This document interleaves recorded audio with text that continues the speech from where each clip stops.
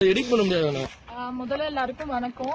தமிழ்நாட்டுல வந்துட்டு இப்ப ஜல்லிக்கட்டு நடத்துறதுக்காண்டி ஃபுல்லா போராட்டம் நடந்துட்டு இருக்கு போராடுறவங்க எல்லாருக்குமே நான் தலை வணங்குறேன் ஏன்னா இத்தனை நாளா வந்து ஒரு மனசு தளராம இவ்வளவு நாள் போராடிட்டு இருக்கீங்க விட்டு கொடுக்காம. அதுக்கு உங்க எல்லாருக்கும் ஃபர்ஸ்ட் ஒரு ஹேண்ட்ஸ் ஆஃப் அதுக்கப்புறம் இப்ப இந்த ஜல்லிக்கட்டு வந்து பீட்டான்றவங்க வந்து ஜல்லிக்கட்டு நடத்தக்கூடாதுன்னு சொல்றாங்க. அவங்க ஒரு பத்து பேர் கூட இருக்க மாட்டாங்க கிட்டத்தட்ட.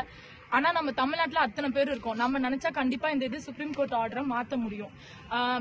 இவங்க நிறைய பேர் ஸ்பீச் கொடுத்திருந்தாங்க. சீமான் அவர்கள் அப்புறம் ஆதி எல்லாரும் நிறைய பேர் ஹிப்ஹாப் தமிழ் அவங்க எல்லாம் ஸ்பீச் கொடுத்திருந்தாங்க. அதெல்லாம் பார்க்கும்போது நம்மளுக்கு என்ன தெரியுதுன்னா இந்த இவரு சொன்ன ஆதி சொன்னபடி பார்த்தா அந்த புல்லுன்றத பெர்ஃபார்மிங் அனிமல்ல இருந்து எடுத்துட்டா நம்ம ஜல்லிக்கட்டு நடத்த முடியும்.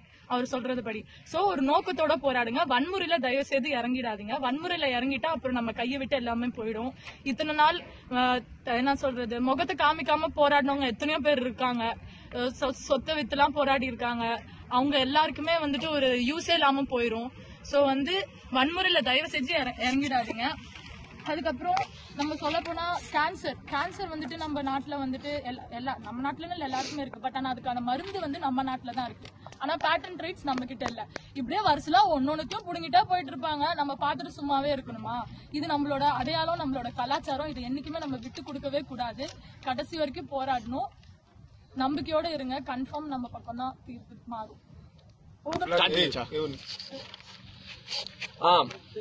ஆக்சுவலா வந்து இப்போ தலைவர்களே இல்லாம நம்ம போராடுறதுனால ஒரு கொ- ஒ- ஒ- ஒரு குறிப்பிட்ட கொள்கைக்காக நம்ம யாரும் போராடல. ஆனா வந்து இனிமேல் நம்ம போராடுறது வந்து ஒரே ஒரு ஒரு புள்ளியை நோக்கி தான் நம்ம போராடணும். என்னன்னா அது அமெண்ட் பிசிஏ ஆக்ட் அந்த ஆக்ட வந்து ஒன்றும் இல்லை. இந்த காட்சி பொருளாக இருக்கிற காளையை வந்து அந்த சட்டத்திலேருந்து நீக்கணும். அதுதான் நம்மளோட குறிக்கோளை நம்ம நம்ம அதுக்கு நோக்கி தான் நம்ம இப்போ போராட போகிறோம் அதே மாதிரி ஒன்று ஒரு நியூஸ் வந்திருக்கு. ஆர்மி வந்து வராங்க.